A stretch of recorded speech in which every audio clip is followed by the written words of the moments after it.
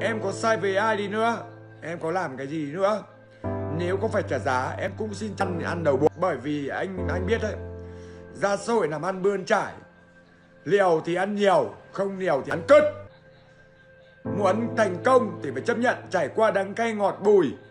Nhà làm ăn muốn kiếm được tiền, phải chấp nhận mạo hiểm nguy hiểm một tí, nhưng trong tầm kiểm soát, anh hiểu chưa?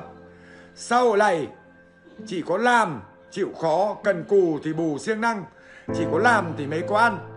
Những cái loại không làm mà đòi có ăn, thế cho nó dễ cho nó dễ hiểu. Hội này sống muốn người ta tôi ăn cất. Mình phải tôi ăn cất trước. Muốn người ta ăn thì ăn đầu, Mình phải ăn thì ăn đầu bụng.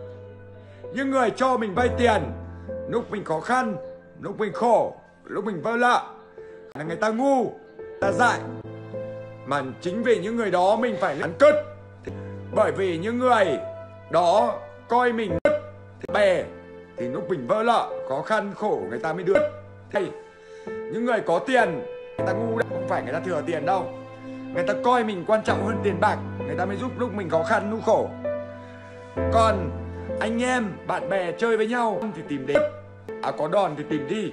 Những cái loại đấy là ăn. Anh, ôi rồi ôi.